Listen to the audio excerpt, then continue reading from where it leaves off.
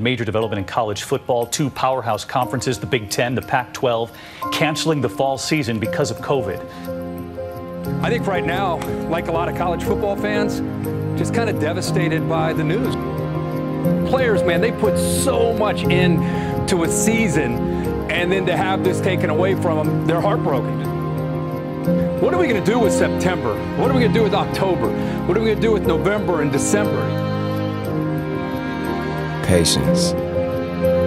Patience is the ability to accept trouble, suffering, delay, without getting angry or upset. I feel like if you can master patience, you can master anything.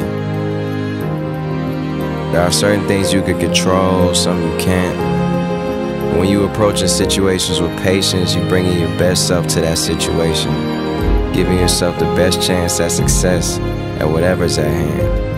I learned there are lessons in patience. It could teach us a lot of things.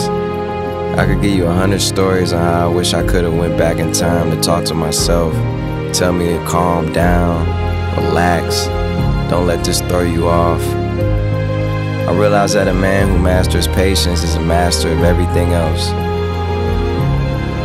To make it to the top of your game, it takes patience.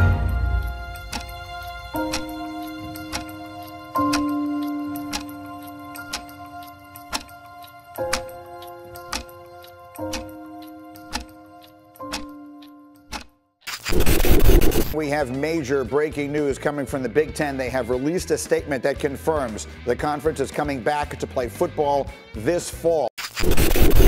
I don't do the most, but I do a lot. I'ma make a toast, cause we still alive.